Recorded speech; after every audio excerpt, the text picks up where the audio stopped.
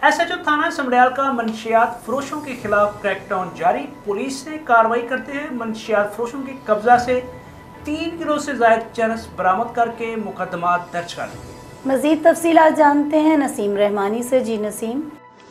जी बिल्कुल सियालकोट से S H O थाना समड़ियाल ने दौरान कार्रवाई बदनाम जमाना मनशियात फरोज जवेद उर्फ़ जेदा और असद अली उर्फ़ काला के कब्जा से तीन किलो से जायद चर्च बरामद करके गिरफ़्तार कर लिया।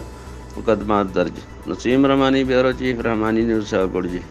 Naseem, बहुत शुक्रिया अपडेट करने का।